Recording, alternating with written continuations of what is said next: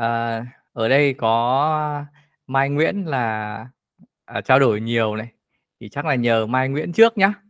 Mai Nguyễn có thể là bật mic lên, a, chia sẻ cùng với mọi người được không? Ờm, Mai dùng được bao lâu rồi nhỉ? Được nửa tháng rồi, đúng không? Mùng 5 tháng 2, được nửa tháng đấy anh ạ.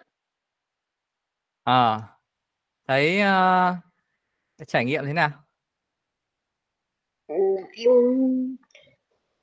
em thấy cái này nó cũng khá là, khá là tiện dụng ấy. Ờ, khi mà em có những cái khoản, ờ, linh hoạt ấy, ví dụ ví dụ như trước, ừm, thay vì là gửi, ờ, Topi linh hoạt ấy, là lãi, Ừm. ơ, 5%, Ừm. Topi linh hoạt là lãi 5%. Thì thay Rồi. chuyển sang cái này là là 4,8%, nhưng mà, ờ, Topi nó 5% nó còn trừ cái, ơ, 0,5% đi, nói chung là nó cũng tương đương nhau.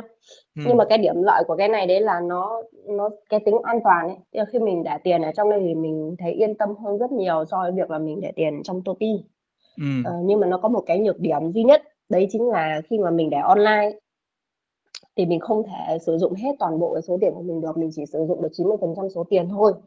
Ví Ừm. dụ như là em để 40.000.000 ở trong đấy thì em chỉ được sử dụng là, ờ, 36.000.000 thôi, chứ không có được, dùng hết.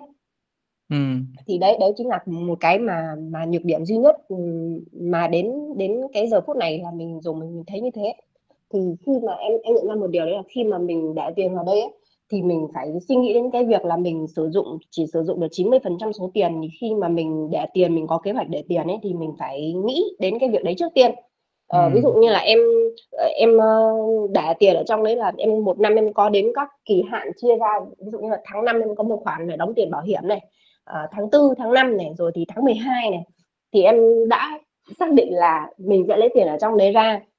Đến Ừm. từng thời điểm mình sẽ rút cái tiền để ra mình đóng bảo hiểm nhân thọ, thì mình đã xác định rằng là mình sẽ sử dụng 36.000.000 đấy thôi, chứ không mình mình không sử dụng được cả 40.000.000.